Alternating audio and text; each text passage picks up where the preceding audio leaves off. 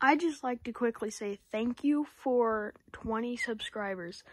Like, I know my recent video was a little gory, but I think people really liked it. So, yeah. And if you want, I'm gonna be posting another plushie video soon.